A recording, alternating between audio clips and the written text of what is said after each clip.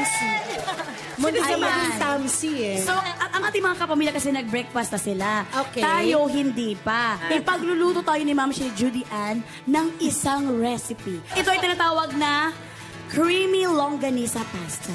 Ay, sarap. I cannot believe it. Exciting. Simulan natin mag-saute ng... ah, i-render natin yung fat from the longanisa. So, ito, hindi ito healthy, ha? Kasi baka sabihin, bakit mataba? Eh, longganisa nga, di ba? So, mag-render tayo ng fat. Lalabas, aalisin natin mamaya yung longganisa pag lumabas na yung taba niya. Ma'am Shea Judy, alam na kasi namin yung saute. Yung render lang hindi namin alam. Ma'am Parang Judy. computer. May yung render, basically, um, tatanggalin, lalabas mo yung taba galing doon sa ingredient mo. Ma'am Shea Judy, ano nang nangyari dyan, Ma'am? Parang naging Eto, crispy na siya. Nagiging crispy na siya. Apparently, yung longganisa natin, parang nag-diet. Ayan. Kasi Pero wala siya na, masyado. ha? Pero may lumabas naman. So, ang gagawin ko, hindi ko natatanggalin yung longganisa. Ah, Isasama ko na yung butter Sarap Okay. naman. para lang magdagdag ng, ano, ng Alam mo yan pa lang. manlinam na. Pwede na nga tayo dyan eh. Happy-happy na tayo dyan. Pagka nag-melt na yung butter, ilalagay ko na tong garlic para hindi rin siya nasun masunog. Dagdagan pa natin ng mas Masarap. maraming garlic para... Correct. Yung basil kasi, napaka, ano nito, generic nitong herb na to. Pwede mo itong ilagay sa baked chicken, pwede sa fish, pwedeng, ito yung ginagamit sa pesto, tapos samahan nyo lang ng malunggay or kale. May extra nutrient na kayong binibigay sa mga bagets ninyo. Or minsan magagawa ko broccoli and basil soup para may um, nutrition yung sabaw At ang bango, ha? at mabango. Wow. So ito yung ginawa ko, pinagpatong-patong ko yung dahon, tapos i-roll nyo siyang ganyan. Pag hiniwa nyo siya, i-slice lang natin siyang ganyan. Okay. Ah, so, parang ano na siya, strips, ganun. Yes. Oo. Pero idadagdag ko siya dyan kasi para mag-infuse na yung lasa niya sa pasta. Okay.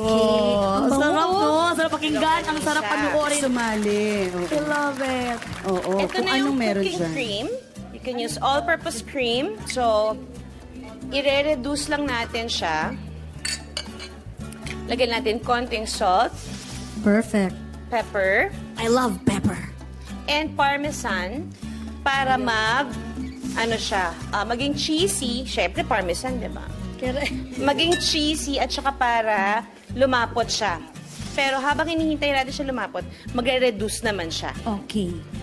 So carry lang 'yan. Ayan, lumapot na siya. Lalagay na natin ang pasta, Ma'am Shi. Ayan na. Ayan na. So, so itong pasta na to, is pre-cook. Um, nag-iwan lang, Pre-cook. nagpaiwan lang ako ng ah, tawag dito, pasta water para mag-thin yung ano natin, sauce natin. Eh, ilagay ko na lahat. Napunta na lahat. O kaya Eh, yan kaya hindi naman tayo nila masyadong pala sauce. eh. Ma'am si Juday, habang Yes po. ginagawa mo yan, Ma'am si Juday, may tanong lang ako. Kasi, syempre si Johan, syempre mag-15 na siya ngayong Oo, November. diba? Paano Oh, nangyari Ang yun? bilis ng panahon talaga. So, ito na yung mga edad na magpa-prom na sila, may mga crushes na sila. My date. So, ano ba? Walang! Grabe. Lumabas na yung Balagyo kanya. sa araw ng prom. Susi ko, ah, star na. So, Ma'am si Juday, ready ka na ba? Kung may makipag-date sa kanya sa prom. Ay, Lord, nandiyan naman si Jong. Sila na bahala. well, ah, hindi mo maiiwasan. Lahat naman tayo dumaan dyan, hindi ba? And at the same time, parang mas kailangan lang mas open lang kayo sa relationship, especially with your teenagers. Kasi iba, ang pa- iba, iba talaga ang panahon ngayon. Hindi siya kagaya nung dati, ta- dati tayo, okay lang, di ba? Oo. Eto na siya, ready na siya. Uy, ang bilis lang, Ma'am Shikar. Bilis lang. Gawin natin to. Ma'am Dinaan lang sa Shikar. usapan, ah. Gagawin ko yan. Tapos sasab- syempre sasabihin natin doon, inspired by ano. Yes, Ma'am Judy Shikar. Santos. So, ipiplate natin siya. Yan na. Andyan sa malaki galing na. din sa mga Syempre tao mahirap naman ang kinin yan, di ba? Maganda to pang Judean's Kitchen, ha? Thank you, magandang buhay. I love Anyway, mas better sana kung hindi nag naghiwa-hiwa o nagputol-putol siya eh. Para ma-twist. Para ma-twist. Okay na rin yan, Ma'am si Juday, para konting nguya na lang. Kasi daw sa, sa ano, madudurog din sa chan. Di ba may mga ganun yung mga parents natin? Magsasama-sama din yan sa chan. Ayan. So, ilagay muna natin siya dyan. Okay. Diba? Ayan! Then, Ang sarap! yung... Wow! Perfect! nagtanim ka ng basil. Oo, madali magtanim ng basil. Tapos, para mas mukha siyang gourmet-ish, yung black pepper, pwede nyo iganyan lang dito. Ayan. O, di ba? Pwede ka na gumawa yung mga simpleng mga mamshi na nasa bahay lang, Oh, wala mo ng work. restaurant. So, Ma'am Shikar, sabihin mo na ang magic word. Tikiman na! Ang, ang sarap kasi kasi napaka-presentable. Yes. Bahala kayo.